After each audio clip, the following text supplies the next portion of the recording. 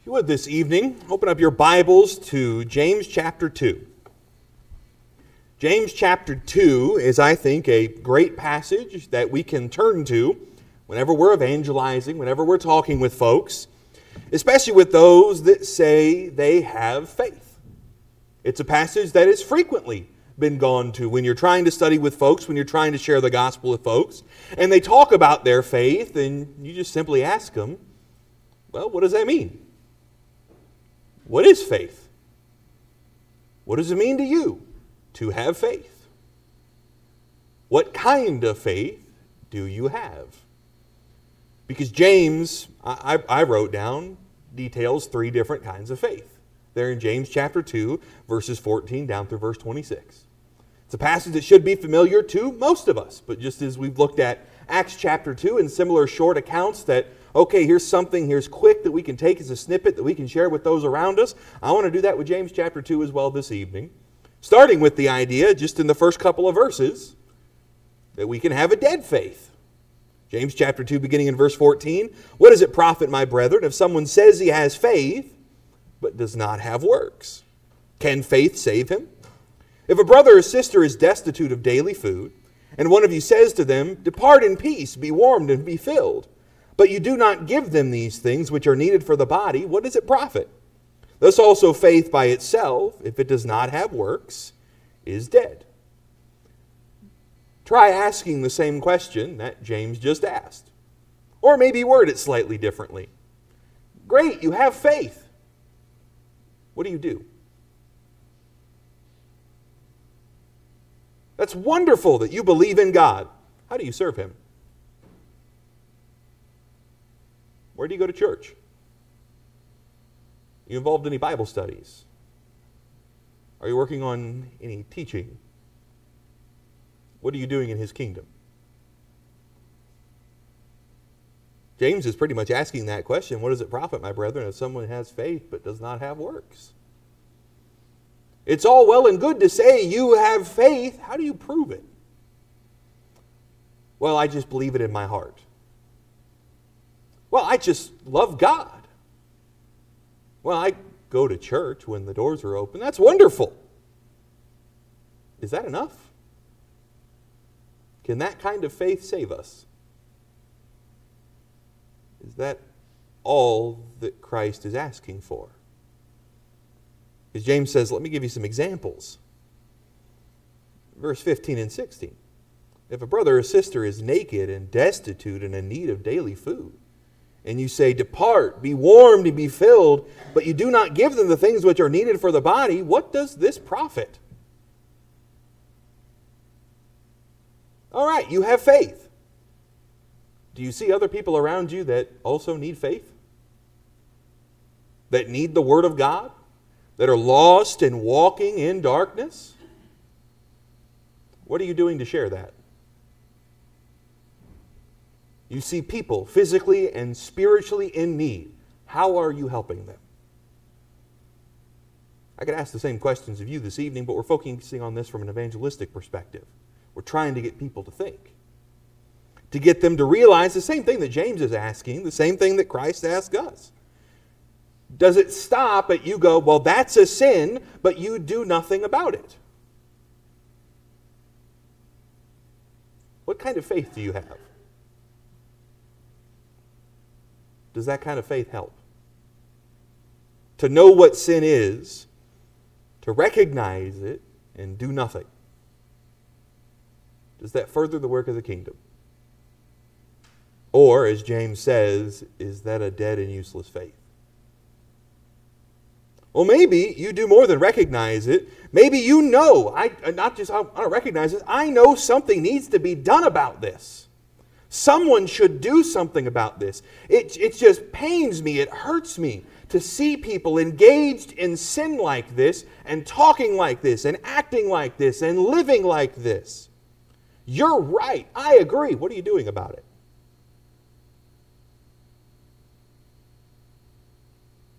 Have you talked to your neighbors and family and friends? Have you tried to bring them to church? Have you tried to do something about this? Or is there something lacking in your faith? This works with the coworker, this works with weak brethren that aren't taking the next step to fully serve our God as we talked about this morning. It works with us. What are we doing? You recognize something needs to be done, but you don't take action. Just intellectually knowing this situation isn't right, but not doing anything doesn't help anybody. The problem still remains. The brother or sister is still naked and destitute of daily food. The person is still walking in darkness and without hope, without help. Just because you believe something and know something needs to be done doesn't fix the problem. Some people have faith like this they have the ability to help. I see, I know that someone is in need. They are walking in darkness. They're destitute of daily food. They need help. But I can't be bothered right now. I'm too busy. I've got too much going on. And they wouldn't want my help anyway. Now we're going beyond. I know I need to do something. I have the ability to help. If you have real faith and that faith has been building upon itself, you know the scriptures. You know God's word. You know how to help people. You know the way to truth and life, but you're not sharing it with those around you. What kind of faith is this? You know, if it's found out if there's a doctor in the house when there's a medical, medical emergency and they don't stand up to help, they can lose their license forever because they have the ability to help. They have the knowledge, they have the skill set to know how to help someone that their life might be saved. But if they don't do it, they're shunned from the community. They're no longer allowed to practice. They can't be a doctor because they have the knowledge and the skill set, but they didn't use it when it was needed. What kind of faith do we have when we stand before God when He said, I gave you the tools? I gave you the armor, as we talked about this morning. I gave you the knowledge to go forth. I gave you the command to go forth and spread the word, and you did nothing. Again, James says this kind of faith is dead. He asks the question can this kind of faith save anyone? And he gives three, I'm sorry, rather four strong replies in verse 14, in verse 17, in verse 20, and verse 26. The conclusion he comes to and shares with us there is no profit if we don't have true faith. This kind of faith by itself, if it does not have works, is dead. Verse 20 as well. Do you want to know, O foolish man, that faith without works is dead? Verse 26 As the body without the spirit is dead, so faith without works is dead also. Simply put, faith should drive us to action. It should cause us to move, to speak, to serve our God. That's a good question to ask somebody when you're trying to evangelize who says they already know what they need to do? It's a good question to ask our brothers and sisters in Christ that might be falling short and think they are doing enough simply because they believe in God, but they're more like a person in a movie theater. They show up, they watch the weekly new program, they listen to the sermon, and they go home. And nothing really goes beyond that. Is that kind of faith useful to God? Is it pleasing to Him? Is it going to save you? Can it do any good? And the simple answer that each of us can come to, even just by reading verses 15 and 16. In the same way that if someone is starving and you say, Go be warmed and be filled, does nothing to actually help them. In the same way that if a doctor goes Well, I can see you choking there. I know you're about to die of asphyxiation. I'll pray for you. That does no good. It does us no good to know the truth, to see people walking around in darkness every single day, lost with the answers at our fingertips and not putting it to use. So maybe you don't have the right kind of faith. Maybe you don't have the right kind of knowledge. Maybe you're worshiping somewhere that's not emphasizing this point. It's not about you just showing up to services every once in a while and dropping some money in a basket. It's you going out and being active. In fact, it's more than just believing. This dead faith barely even believes, but this kind of faith, even then, James says, is a demonic faith if you just believe and leave it at that. Verse 18 continues But someone will say, or someone will answer, some of your translations may say, You have faith and I have works. Show me your faith without your works, and I will show you my faith by my works. You believe that there is one God, you do well. Even the demons believe and tremble. Because James recognizes what the next argument will be. People don't like it when you point out that their faith isn't enough because it makes them uncomfortable. They already feel happy, they already feel content. They feel like they've done something wonderful. They believe in God. Maybe they've dedicated their life to Christ, whatever that looks like, but they're not actually doing anything. But they feel accomplished. When you challenge that, people tend to rebel. Oh, yeah, well, you show me your works without faith, and I'll show you my faith by my works. Notice how James responds. That kind of question is ridiculous. So let me counter it. You believe God? That's wonderful. Even the demons believe and tremble. Just believing, just having faith that God exists, that He is all powerful, doesn't actually mean anything. We see multiple examples of this. Mark 3 and verse 11. They called Jesus the Son of God before anybody else did on this earth. They were still demons. They still trembled. It didn't do them any good. Those in Luke chapter 8, they begged him, Don't send us back to the abyss. Don't send us to hell. They believed in hell. That didn't do them any good. They believed that Christ is the ultimate judge. As two raving lunatics come out of a cave in Matthew chapter 8, who no men could overpower. Behold, they cried, What have you to do with us, O Son of God? Have you come here to torment us or to judge us before the time? We know that God will be the ultimate judge. They believe more than many people do. That God isn't going to let everybody into heaven. He is going to be a judge. He is going to discern and part the righteous from the unrighteous. They believe what many in the religious world don't even believe. But was that enough to save them? No. What about in James chapter 2, verses 18 and 19? Just because we have faith, just because we believe something strongly, and that's what that is. That's a strong reaction there in verse 18. It's a passionate response. You show me your faith by your works, and I'll show you my faith without works. Just because they get angry and they get loud, does it make them right? We need to be ready to respond to that. That's wonderful that you're so passionate.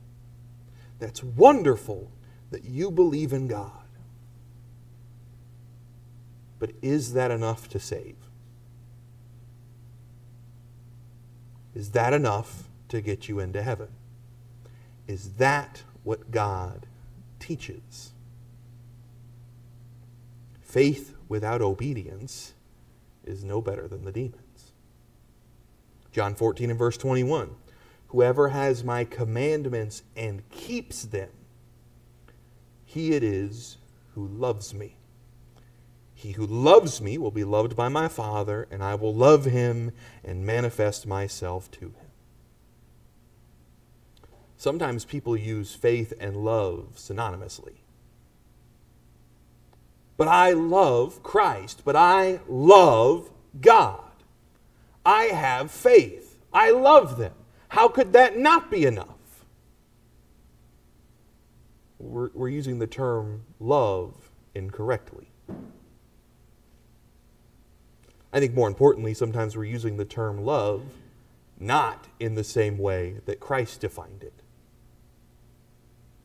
We can run into that with any communication. We're both using the same word, and we both are using wildly different definitions. Jesus not only talked about love in John chapter 14, he defined it for us. He who loves me keeps my commandments. He who loves the Father keeps his commandments. And God loves who keeps his commandments. Obedience has to be a part of that faith. Obedience has to be a part of that love. Or else it's a pale imitation. Just because you recognize something as truth isn't the kind of faith that Christ is looking for. Every knee will bow every tongue will confess that Christ is Lord. That does not mean that every need will be saved and every tongue will be saved. It means one day everyone's eyes will be opened and they will acknowledge the truth that they have been ignoring for most of their lives. Jesus is King of kings and Lord of lords. But that alone is not enough to save. That alone is not enough to be said, Well done, my good and faithful servant. We can think we love God, but we do nothing for them. We do nothing to help Him. We do nothing to serve Him. We can feel strongly about what we think God's Word says without actually following what He told us to do. that does us no good. That doesn't help us. It doesn't prove our love for the Father. We have to be faithful as He commands, not as we think. Because the only faith that God will accept is an active and righteous faith. Faith cometh from hearing, hearing through the Word of Christ. It's not that you have faith that your parents instilled in you. They may be right, they may be wrong. Maybe some of both. It's not faith that your preacher instilled in you. He may be right, he may be wrong, might be some of both. It's what God calls us to do, it's what His Word says. It's not what I believe or what I have made up. It's not even that I have to know why God has said or not said something. It's simply that I have to know if this is what God says, then that is what it is. That is how I will live. That is what I will do. That is what I will speak. And I'll do it every day as long as I live to the best of my ability. James shows then two examples of what real faith looks like. Just like he can give us some bad examples of what demons look like, of what their faith looks like, he can show us what real faith looks like as well. Verse 20 But do you want to know, O foolish man, that faith without works is dead? Was not Abraham our father justified by works when he offered Isaac his son on the altar? Do you see that faith was working together with his works, and by works faith was made perfect? the scripture was fulfilled, which says, Abraham believed God, and it is accounted to him for righteousness. And he was called friend of God. You see then that a man is justified by works and not by faith only. He gets around to the question that was posed in verse 18 I don't have to argue with you arbitrarily about what faith means. I can show it to you. Abraham, who even before sacrificing his son Isaac, was already counted faithful, was already called a friend of God. But he had more that he had to keep doing. He had more work and more things that God told him to do, sometimes even like sacrificing his own son, that to him did not make sense. To him, he found a way to mentally justify it to himself, even though that fell short of what God was actually doing. But that didn't matter. If this is what God has told me to do, then this is what I will do.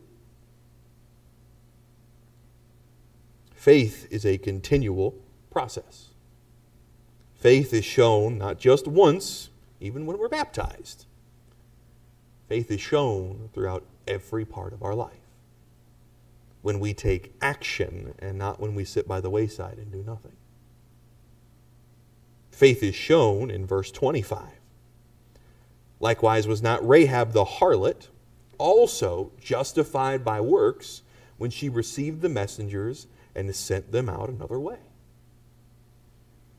Oh, she had faith that at first looked a whole lot like the demons. Well, I know who God is. There is not a person in this city who does not know who the God of the Israelites is. The God who parted the Red Sea and destroyed the Egyptians. The God who destroyed Sihon and Og on the other side of the river has now come here also, and we tremble with fear. Then she asks, What do I need to do in order to be saved? How can I, myself, and my household be spared? Even though she was in sin, even though not only was she just a harlot, she was another individual in this country, in this city, that God had deemed it's time to be destroyed. Because of her faith and because of her actions by following the instructions that were left for her, she and her household were spared. Faith without works didn't save her. If she'd just hung a rope out her window without faith, it wouldn't have done any good. Doing as God instructed because it was God who gave the instructions is what spared her life. So the conclusion James reaches is as the body without the spirit is dead, so faith without works is dead also. We can come to no other conclusion. It's how he opened that part of the letter, and it's how he closes this part of the letter. What does it profit, brethren, if someone has faith and he does not have works? The answer is it profits nothing. Faith without works is dead. Faith alone is a demonic faith, and it is not enough to save. Verse 24 tells us exactly that. Verse 24 reads, You see that a man is justified by works and not by faith only. It is not enough to save. Perfect faith is only found when we serve our God as He commands. Do you see then that faith was working together with his works, and by works, faith was made perfect. It's a shorter lesson this evening. By my timer, it's been 24 minutes. You could talk a little bit longer, you could talk a little bit shorter as you share this with folks around you. Faith is a big subject that a lot of people trip up over. There's a lot that are out there preaching that you just need to believe. You just need to love God. You just need to accept Him into your heart. You just need to sit there and send a check in every so often or warm a seat in a pew. And that's as deep as servitude to God gets. James explicitly tells us, the entirety of God's Word explicitly tells us, that has never been the case whether that be the lesson we looked at this morning, that we need to be a servant of God, or else we have nothing good to look forward to. We need to have faith that is active and working, or else we don't know God. We don't truly serve Him. Strive to take some of these things and hopefully put them to use this week. Share this with others. It's 12 short verses. Doesn't take long to cover. There's some really good questions in there that can be put to use. God's word is sharper than any two edged sword.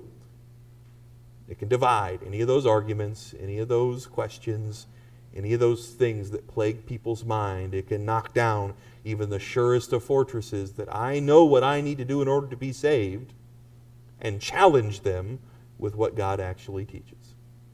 So put it to use.